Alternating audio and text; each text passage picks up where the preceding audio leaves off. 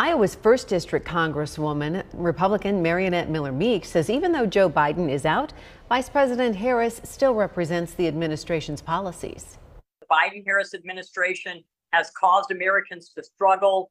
Uh, they're not doing well. They are not, you know, they were doing better off four years ago before the Biden uh, uh, Harris administration had come into place. And re- remember, uh, Kamala Harris, when she ran in the Democrat primary, had she uh, stopped her campaign because she was performing so poorly. So even the Democrats didn't like Kamala Harris.